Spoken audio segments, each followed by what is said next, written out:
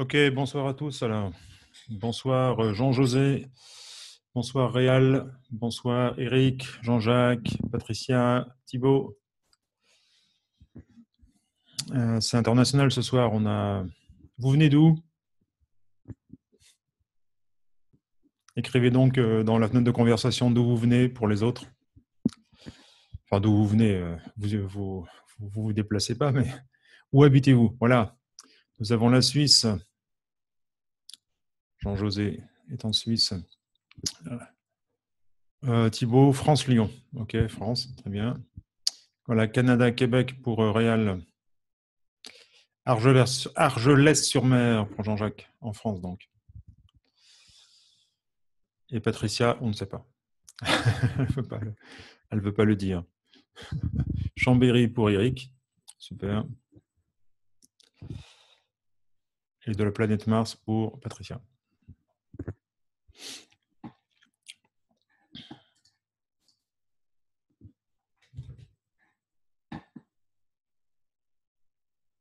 Ok, alors, le programme du soir.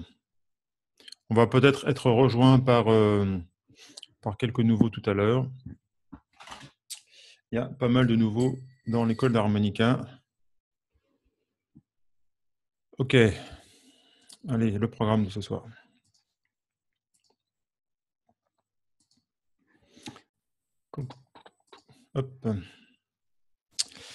Ok, donc c'est l'agora numéro 43.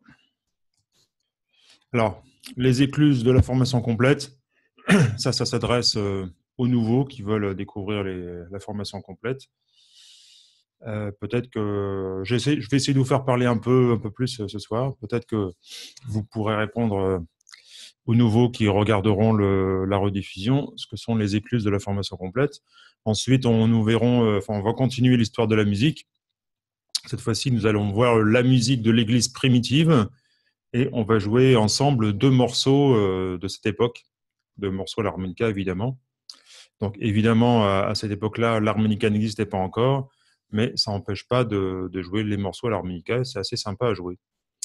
Ensuite, le mot du glossaire. Donc ça, c'est un mot, euh, un terme musical qu'on découvre. Enfin, certains le connaissent peut-être déjà et c'est important de, voir ces, termes-là parce que quand on les rencontre sur des partitions, ben, au moins on sait ce que ça veut dire.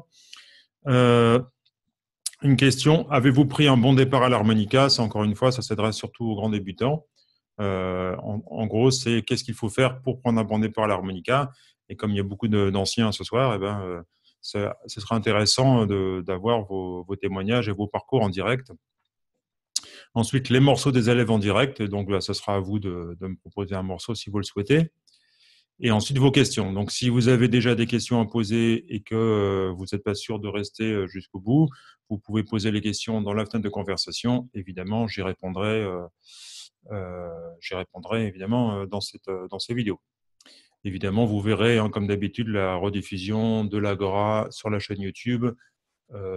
Peut-être pas demain, mais sans doute après-demain. Et enfin, la programmation de l'Agora numéro 44. Euh, alors,